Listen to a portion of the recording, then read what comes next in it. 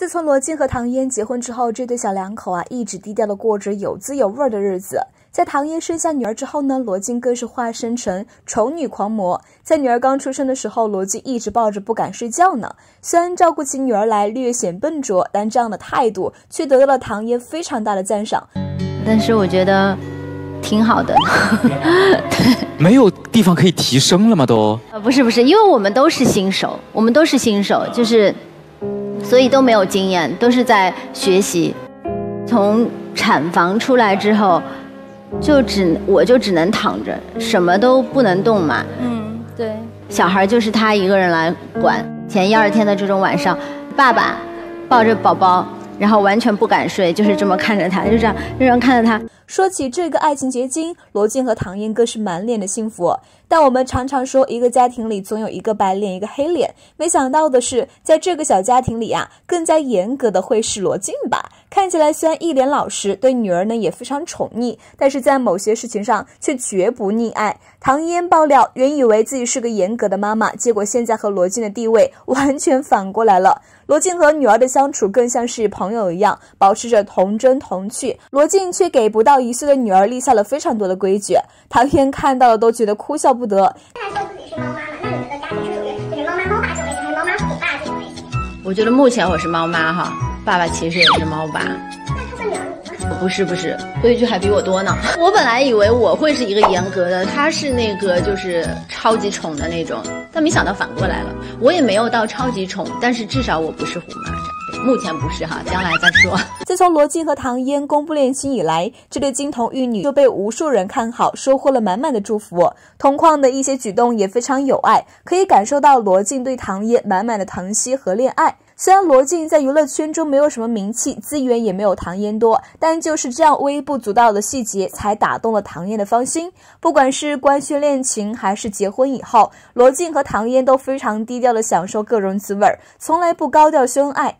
这是因为太过低调了，还曾有一段时间被外界传言两个人已经分手。结果罗晋和唐嫣非但没有出来否认，反而直接官宣结婚的消息，给了许多人重磅一击。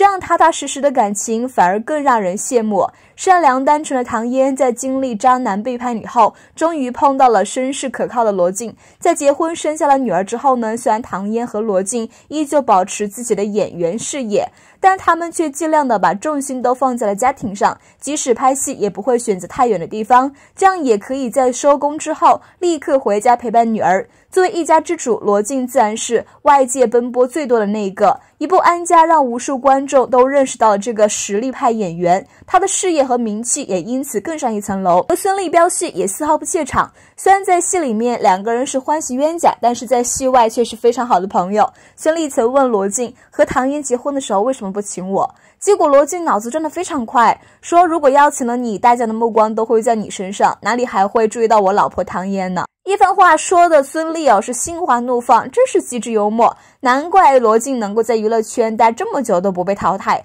恐怕靠的就是这种高情商吧。而孙俪呢也大赞罗晋是个好男人，因为曾在某一天孙俪和罗晋聊起包包的话题，结果罗晋对包包的认识啊比孙俪还要熟练，这恐怕是和唐嫣在一起之后被锻炼出来的技能吧。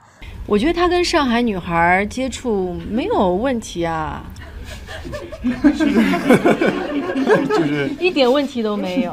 要知道，罗晋的妻子唐嫣就是个地地道道的上海姑娘。孙俪一语道破，罗晋还有点不好意思呢。他绝对是个好男人，一定的。哎，不要跟我贴这样的标签。真的，真的，真的特别好。我就从一个细节上来讲啊，在戏里，他的老婆是卖包的。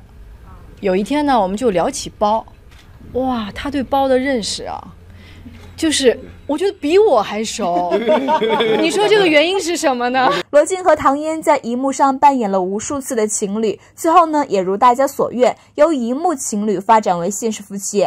婚后，唐嫣依旧被宠成了一个无忧无虑的小公主。而罗晋则是保护自己妻子的骑士，虽然他们已经尽可能的低调了，但是不经意显露出来的细节却足以羡慕许多人。即使不同框合体，也能够让大家感受到甜蜜幸福的气息，发自内心的幸幸福往往不言而喻。比起那些秀恩爱的情侣夫妻，罗晋和唐嫣无疑是清流中的清流，让我们看到了爱情最美好的姿态。他们的日子越过越美满，也希望他们能够再次合体，为大家带来更多优秀的作品吧。好了，以上就是今天的全部内容，咱们下期再见吧。